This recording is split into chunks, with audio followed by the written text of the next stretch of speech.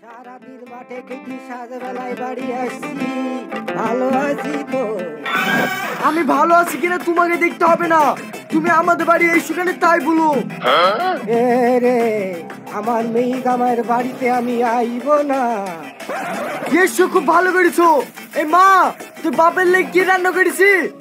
একটু পোল্ট্রির মাংস লেসে রান্না করেছি বাপ। হ্যাঁ তুই কার হুকুমে মাংস রেখেছি তাই বল। আমি এই সংসারে উন্নতি করে লেগি সকাল থেকে সন্ধ্যে অব্দি খাটি মাঠে খাবার পর্যন্ত নিয়ে যেতে বারণ করি লোকের ভয়ে কলা বার খেয়ে থাকি আর তুই মাংস লেসি সংসারটা ধ্বংস করছি। থাকব না তোদের সংসারে আমাকে ভেনো করে দে। আমার বাপের লেগে একটু মাংস লেসি বলি তুই ভেন হয়ে যাবি আর তোর শ্বশুর শাশুড়িরা আসলে তুই খেতে দিবি নি? সে করে বালি আমার আগে বারণ করা হয়ে গেছে। মাংস খাব করছে।